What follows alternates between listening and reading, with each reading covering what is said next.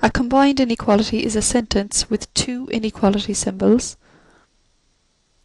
joined either by the word or or by the word and. So here's an example. Water is not in a liquid state if its temperature is above 100 degrees or if it's below 0 degrees. We are asked to write a combined inequality statement for the temperature T when water is not in a liquid state. So we know water is not in a liquid state if it is above 100 degrees. So if T is above 100 degrees, so T greater than 100 degrees, or T is below, so less than 0 degrees. So this is a combined inequality. It is a sentence with two inequality symbols. So we have one here and one there. And it is joined either by the word or or by the word and. Here it is joined by the word or. Representing this on the number line, t is greater than 100. So 100 is not included, but all temperatures greater than 100 are included. Or t is less than 0. So this is 0, 0 is not included, but all temperatures less than 0 are included. Because the word or is used to join these two inequalities, we want the union of our two solution sets. So representing this on the number line. So we want temperatures less than zero or temperatures greater than 100. So this is what our solution set would look like on the number line. And to write our solution set, we would write that t is less than 0 or and to represent the word or we use the union symbol t is greater than 100. Suppose you were asked to solve 2x plus 3 is less than minus 2 or 2x plus 3 is greater than 5. Now the word or is used to join these two inequality statements. This is called a disjunction. We must solve for values of x that make at least one of these statements true. So we'll just solve these now.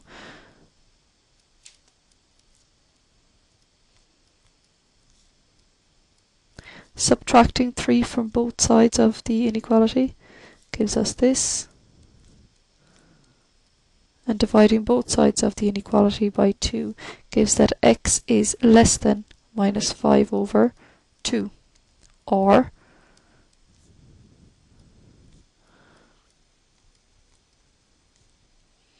subtracting 3 from both sides of the inequality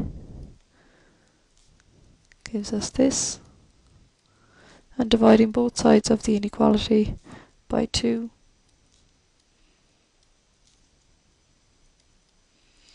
So we have that x is less than minus 5 over 2 or x is greater than 1. So representing this on the number line. So because the word or is used, we want the union of these two solution sets.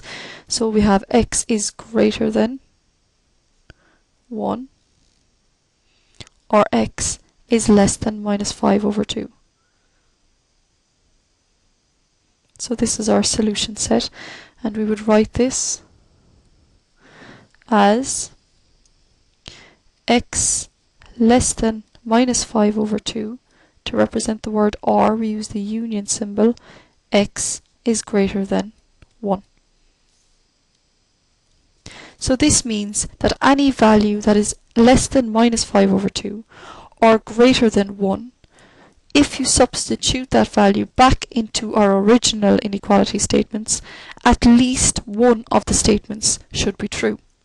And if you fill in a value that is not in either of these ranges, so a value between minus 5 over 2 and 1, well then it will not satisfy either of the two inequality statements. So we'll just check that we are correct. So we'll test the number x being equal to minus 3. Now this is part of our solution set, so it should work out to make at least one of the inequality statements true.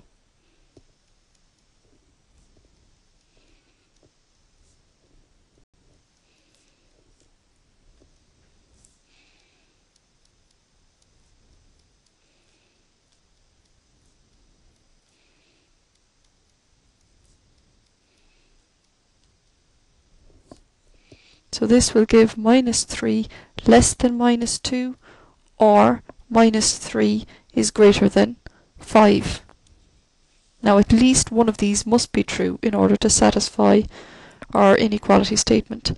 Minus 3 less than minus 2,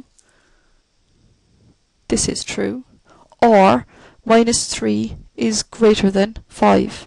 Now this is not true but at least one of our statements has been satisfied and so minus 3 is part of the solution.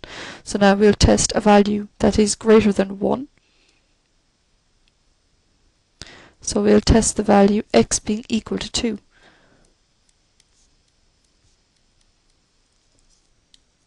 So you should check this yourselves that when you have filled in x being equal to 2 into our original inequality statements, you get that 7 is less than minus 2 or 7 is greater than 5. Now 7 less than minus 2, this is not true.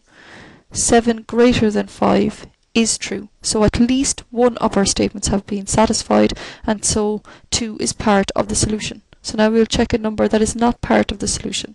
So that would be, looking back up here to our number line, a number between minus 5 over 2 and 1. So we'll test the number 0.